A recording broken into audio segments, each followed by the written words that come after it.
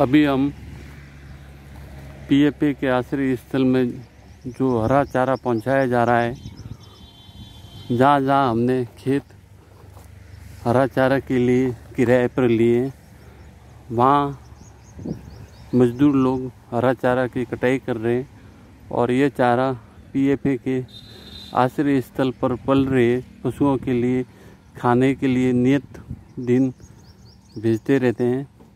आज सुबह नौ बजे पहली गाड़ी हम, जो हमारे शेल्टर में पल रहे हैं, ऊँटों के लिए पूरी गाड़ी करीबन दस क्विंटल चारा, हरा चारा सुबह भेजा जाएगा।